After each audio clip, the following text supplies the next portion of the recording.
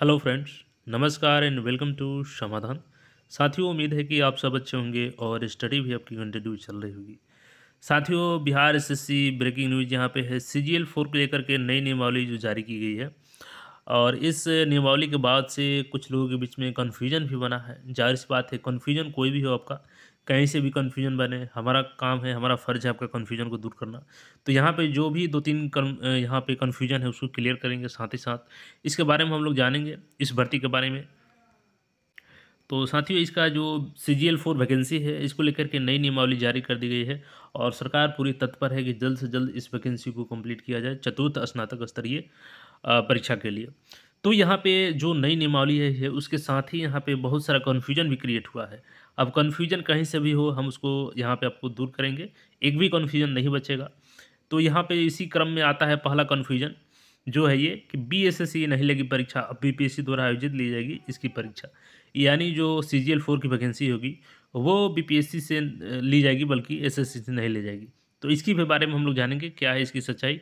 और कितना इस बात में दम है कि बी पी एस सी लेगी। अगला जो इसमें है आपका, वो कि अब ये अधिकारी के रूप में जानेंगे मतलब एक अधिकारी के नाम से जाना जाएगा, इनको अब सहायक के नाम से नहीं जाना जाएगा। ये इस पर मुहर लग चुकी है फाइनली। और जो तीसरा अपडेट है कि ये भर्ती कब तक आएगी और कितने पोस्टों पे आएगी। तो चलिए सबसे पहले तो आज हम लोग नियमावली को समझते हैं और उसी क्रम में सारे डाउट्स को एक एक करके क्लियर करते चलेंगे। जैसा कि यहाँ पे देखेंगे साथियों, बिहार गजट है ये, असाधारण अंक। बिहार सरकार द्वारा प्रकाशित और ये सत्रह नवंबर का है, दो हज़ार तेईस। यानी दो दिन पहले का, तीन दिन पहले का ये गजट है, इसको प्रकाशित किया गया था। तो यहाँ पे देखेंगे, नीचे यहाँ पे सभी अधिसूचना बिहार राज्यपाल के आदेश से जारी किया गया है। और यहाँ पे देखेंगे तो बिहार सचिवालय सेवा संशोधन अधिनियम 2023 साथियों, आज बात करने वाले हैं चक्षु पब्लिकेशन के द्वारा। द्वितीय इंटर स्तरीय संयुक्त प्रतियोगिता परीक्षा, बीएसएससी के लिए 2024 के लिए यहाँ पे सेट्स तैयार किए गए हैं, जिसमें आपको पंद्रह प्रैक्टिस सेट मिल जाएँगे, तीन सॉल्व पेपर्स मिल जाएगा और 2000 प्लस एम यानी जो विस्तृत रूप से यहाँ पे व्याख्यात्मक सोल्यूशन दिया गया है। और यहाँ पे देखेंगे तो डिटेल्स में आपको सोल्यूशन मिल जाएगा तो जिसके माध्यम से तैयारी करके आप अपने तैयारी को मज़बूत कर सकते हैं। तो इस बुक को ज़रूर परचेज करें लिंक डिस्क्रिप्शन में है या अपने नज़दीकी बुक स्टोर को विज़िट कर सकते हैं। इसके अलावा चक्षु पब्लिकेशन की अन्य कॉम्पिटेटिव बुकें जारी की जाती है तो यहाँ पर इस बुक को परचेज करके अपने तैयारी को मज़बूत कर सकते हैं। तो जैसा कि यहाँ पे देखेंगे, बिहार सचिवालय सेवा संशोधन अधिनियम दो हज़ार तेईस। अब कन्फ्यूज़न जो है, इसके साथ ही हम लोग क्लियर करते चलेंगे। जैसे कि बिहार सचिवालय सेवा अधिनियम 2007 यहाँ पर ध्यान देंगे, ये अधिनियम किसकी बात की गई है दो हज़ार सात की? बिहार अधिनियम ज़ीरो तीन दो को संशोधित करने के लिए अधिनियम प्रस्तावना।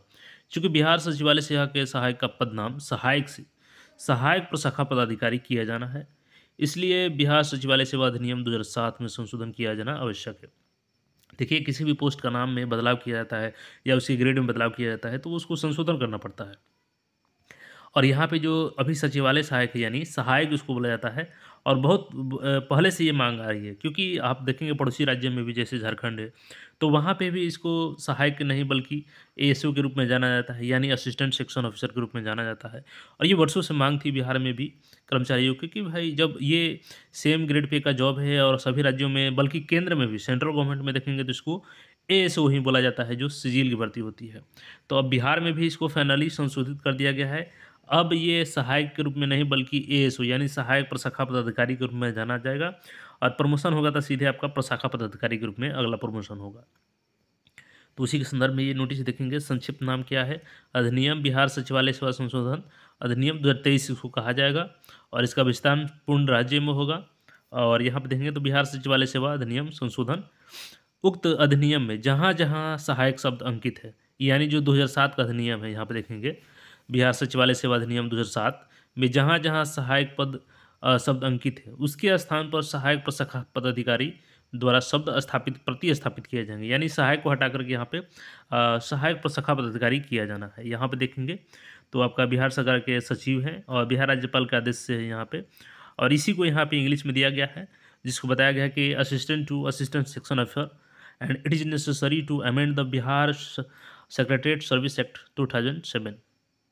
And this act may be called the Bihar secretariat service amendment act twenty three तो इसके आधार पर इसमें अमेंडमेंट किया गया है। अब जो पहला यहाँ पे कन्फ्यूज़न है आपका कि क्या ये बीपीएससी के द्वारा ली जाएगी? चूँकि हमने देखा, बहुत सारे व्यक्ति कन्फ्यूज़न में है कि इसका एग्ज़ाम बीपीएससी लेगी। तो आपका कन्फ्यूज़न मैं यहाँ पे दूर कर देता हूँ। इसके लिए सबसे पहले हम लोग चलते हैं जो 2007 का अधिनियम है। चूँकि इसमें क्या बताया गया है कि 2007 का अधिनियम में जहाँ जहाँ सहायक है, केवल उसको यहाँ पे चेंज किया जाना है, बाकी यथावत वो रहेगी। तो आइए उसको भी देखते हैं। यहाँ से कन्फ्यूज़न आपका क्लियर हो जाएगा। जैसा कि देखेंगे साथ ही यहाँ पर चर्चा जो की गई थी कि दो हज़ार सात और दो हज़ार आठ की नियमावली। तो ये है, यहाँ पर देखेंगे तो बिहार सचिवालय सेवा अधिनियम, यानी बिहार सचिवालय सेवा गठन करने हेतु। तो यहाँ पे देखेंगे कि इसमें सहायक नाम दिया गया था और उसी को यहाँ पे चेंज किया गया है। अब इस जो दो हज़ार सात की नियमावली है, इसको हम लोग नीचे स्क्रॉल करते हैं और स्क्रॉल करेंगे तो यहाँ पे मैं आपको दिखा दूँ। सबसे पहला जो अपडेट है यहाँ पे जो आपको पहला डाउट है कि क्या इसका बी से एग्ज़ाम होगा क्योंकि हमने देखा बहुत जगह पे डाउट ये तो उसको यहाँ पे क्लियर करना ज़रूरी हो जाता है।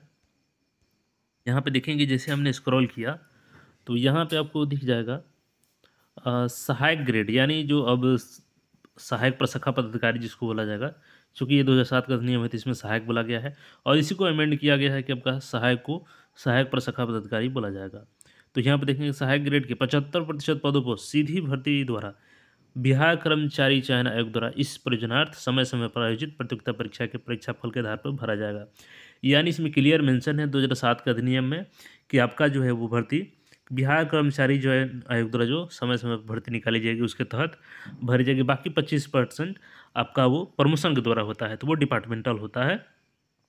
लेकिन यहाँ पे क्लियर मेंशन है कि आपका बिहार कर्मचारी ही इसको आयोजित करेगी। अब जो न्यू अमेंडमेंट है, उसमें क्या किया गया है कि केवल आपका सहायक पद को सहायक प्रशाखा पदाधिकारी में चेंज किया गया है, यानी प्रतिस्थापित किया गया है। बाकी सारा अपडेट सेम का सेम है, यानी दूसरा इसमें कोई चेंजेस नहीं किया गया है। तो जो लोग भी कन्फ्यूज़न में हैं कि बिहार बीपीएससी इसका एग्ज़ाम लेगी तो बिल्कुल नहीं लेगी। इसका अभी एग्ज़ाम आपका बीएसएससी ही लेगी, यानी कर्मचारी चयन आयोग द्वारा। और इसके तहत लेटर भी एक लिखा गया था जो हमने आपको यहाँ पे दिखा देता हूँ। पहले भी दिखाया था हमने। इसके रिगार्डिंग हमने आपको पहले भी बताया था कि 19 अक्टूबर को ये लेटर लिखा गया था जिसमें बिहार कर्मचारी चयन को स्नातक स्तरीय संयुक्त प्रतियोगिता परीक्षा इंटर स्तरीय, जिसमें कि इंटर आ चुका है और इसमें और भी पैर ऐड होने वाले हैं। दूसरा चीज़ कि कार्यालय परिचारी इसका भी दिसंबर अंत तक आ जाएगा। तो ये भर्ती आपका बहुत जल्द आ रही है। लास्ट दिसंबर तक ये भर्ती पूरी चांस है कि आ जाएगी। और एक अच्छे खासे पदों पे आ रही है, क्योंकि इस बार प्रमोशन भी काफ़ी अच्छे दिए गए हैं। चूँकि बहुत सालों से प्रमोशन बिहार में रुका हुआ था, चूँकि माननीय सुप्रीम कोर्ट में इसका मामला चल रहा है, इस वजह से रुका था। तो इस बार वैकेंसी अच्छी आने वाली है, साथ ही साथ आपका बिहार कर्मचारी चयन द्वारा ही लिया जाएगा।